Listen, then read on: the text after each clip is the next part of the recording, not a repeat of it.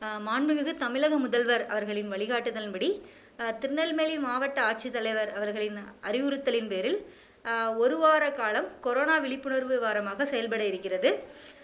பொதுமக்கள் கொரோனா தடுப்பு நடவடிக்கையான முகக்கவசம் அணிதல் தனிநபர் சமூக இடைவெளியை பின்பற்றுதல் மற்றும் கைகளை அடிக்கடி கழுவுதல் மறக்காமல் தடுப்பூசி போட்டுக்கொள்ளுதல் பரிசோதனைக்கு தங்களை உட்படுத்திக் கொள்ளுதல் போன்ற நடவடிக்கைகளில் ஈடுபட்டு திருநெல்வேலி மாவட்டத்தை கொரோனா இல்லாத மாவட்டமாக உருவாக்க முழு ஒத்துழைப்பு தருமாறு மாவட்ட நிர்வாகத்தின் சார்பில் கேட்டுக்கொள்கிறோம். நன்றி.